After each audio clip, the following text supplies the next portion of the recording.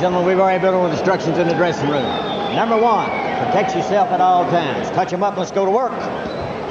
Floyd May Mayweather certainly has championship blood coursing through his veins. We'll find out if he has the stuff of a champion once he gets hit on the chin by a fighter who can punch.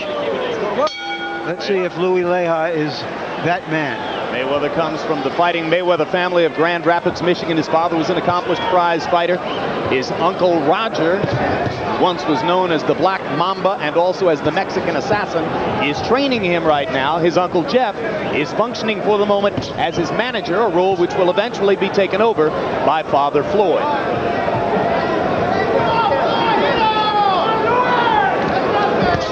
Louis Leija wants to try to do some damage to Floyd Mayweather's body early. Floyd is showing a lot of experience early. He's already coming out. He's using his jab very well, and he's not taking any crazy chances. This is very good for a young fighter. Floyd is very economical for a young fighter. He's only been throwing about 50 punches per round to this stage in his career, but he's highly selective and extremely accurate puncher and makes them count. But that also reflects the fact that he will play defense. As you see there, making it tough on Leija to land here early in round number one. One of the things that Roger's working on with Floyd Mayweather is try to get him to hide the right hand. His uncle Roger was a master at hiding the right behind his curled left shoulder. Floyd doesn't do it quite as well yet.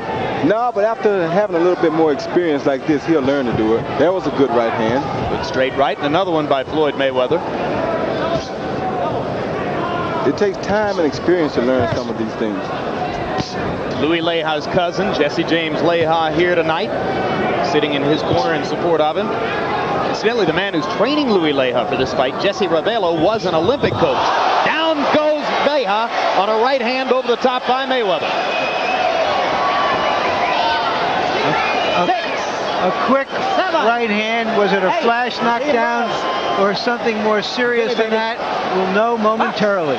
It was something very serious, I can tell you now.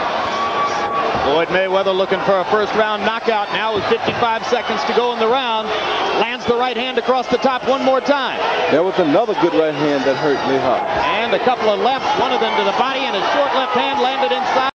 He is doing some damage right now. Louis Leija trying to hold on. And Jerry McKenzie's going to give him a count. Four,